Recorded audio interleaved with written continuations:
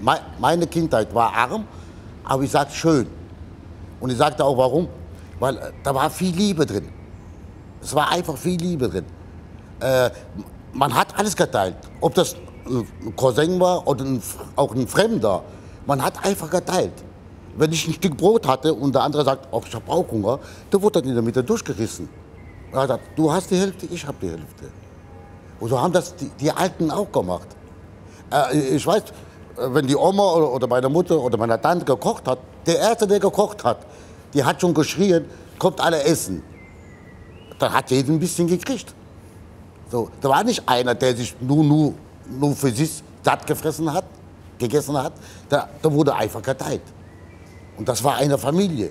Und deswegen waren wir auch so stark, weil wir zusammengehalten haben. Weil da war äh, Liebe, Respekt. So, und, und jeder hat auf den anderen aufgepasst. Allein schon deswegen. Wir waren eine, eine kleine äh, Gemeinschaft, aber wir waren stark, weil wir, weil wir zusammengehalten haben.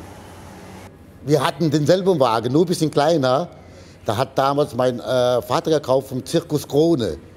Also äh, der alte Zirkus Krone noch. Da hat mein Opa ein, zwei gekauft, mein Vater eins und da drin haben wir auch gewohnt. Eine Zeit lang äh, bevor die Waggons kamen. Also ich habe sogar noch Fotos von, wo äh, meine Eltern und meine Geschwister waren noch alle klein, saßen wir alle so auf dem Sofa und die Inneneinrichtung von dem Wagen.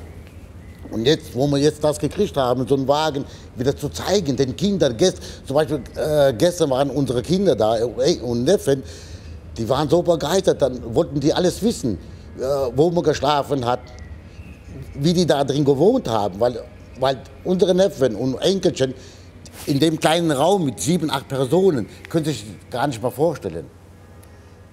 Wir haben früher äh, mit Schrott, Möbel, Instrumente und äh, die Frauen haben Decken verkauft, äh, Kurzware.